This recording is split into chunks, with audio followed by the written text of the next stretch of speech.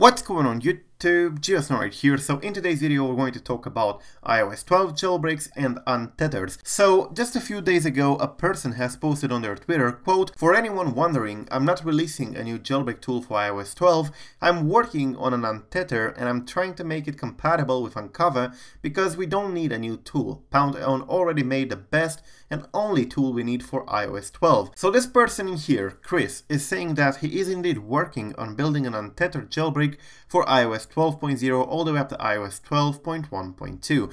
And how he's going to do that? Well, he's going to use a vulnerability that is already available. Now, of course, I'm very skeptical, and this video is nothing but an informative video to basically tell you, well, there is somebody who is going to use this vulnerability, and he's saying he's going to attempt to create an untethered jailbreak, but there is nothing more than this. There is nothing really proven for the moment. Anyways, I'm actually skeptical, and basically in a conversation a few days ago with this person here and many others, I basically asked him, well, how are you going to do an unc0ver that is untethered, what are you going to use? And he was actually backed by another person here on Twitter. But anyways, he said, quote, he's talking about the userland exploit created from the iOS 12.1.3 POC, which is proof of concept, which attacks a system daemon that runs at boot to achieve persistency and untether. And I don't care if someone else goes out and uses that info to do it because I'm not in a race to finish it. Anyway, so he's basically saying that he is building an untether for the unc0ver. Now, the vulnerability he's talking about is this one here, which is indeed compatible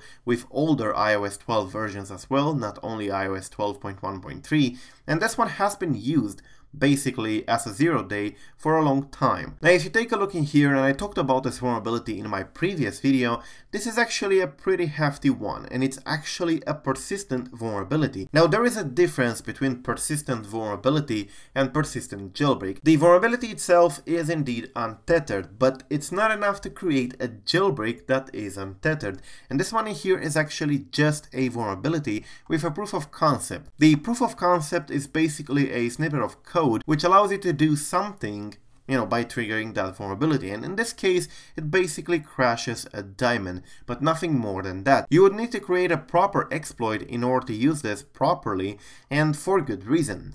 Now, he basically explained to me in a DM what he's going to do and what he's trying to do, and his idea might as well work, however, has not been verified. So, of course, I am indeed skeptical, especially since he doesn't have any public contributions to the Unc0ver or to any other jailbreak, and I never heard of this person before. However, many of you told me I should give him a chance, especially since he seemed to be very adamant that his method will work, and he also seems to to be very confident of his method. And of course, many of you told me that it might as well work because of this vulnerability in here, which is basically what separates him from the other untether attempts in the past that never came to fruition. So he is indeed helped by the fact that there is indeed a vulnerability that is actually pretty powerful and can be used for a jailbreak. Here in this report by Zecops, they posted, quote, analysis and reproduction of iOS and OS 10 vulnerability CVE 2019-7286. And in the TLDR section, they said in here, quote, CVE 2019-7286 was exploited in the wild, the vulnerability seems to be of critical severity and could have been used potentially also to maintain persistence after reboots. And this is what he basically plays upon, the fact that the vulnerability itself does allow a degree of persistence, which can indeed be useful for an untethered jailbreak. And then they say in here, Zecops were able to reproduce this vulnerability with POC code below, and the vulnerability could be used to escape privileges to root as part of a chain for jailbreak on iOS 12.1.3. This is a vulnerability in Foundation and has been found by Ian Beer and many others in here and reported to Apple.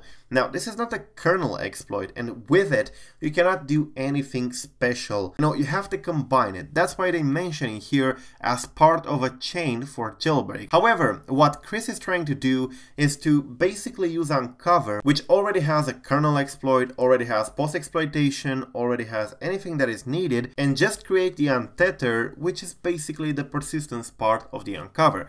Now, for those of you who do not know, an untethered jailbreak is a jailbreak that doesn't require you to reapply it after reboot. So I decided to give him the benefit of the doubt after some of you told me here on Twitter in my discussion with him that I should definitely give him the benefit of the doubt. So that's what I'm doing and I decided to announce you about it so that you can follow him and, you know, stay close to see exactly what's going on, how it unfolds, but for the moment remain skeptical because there have been many failed untethers in the past. However, he is backing up on this vulnerability here, CVE 2019-7286, which does have a degree of persistence which can be useful for his matter. Anyways, yeah, that's pretty much it guys, thank you for watching, don't forget to subscribe to stay updated, I am GeoSn0w, until the next time, peace out.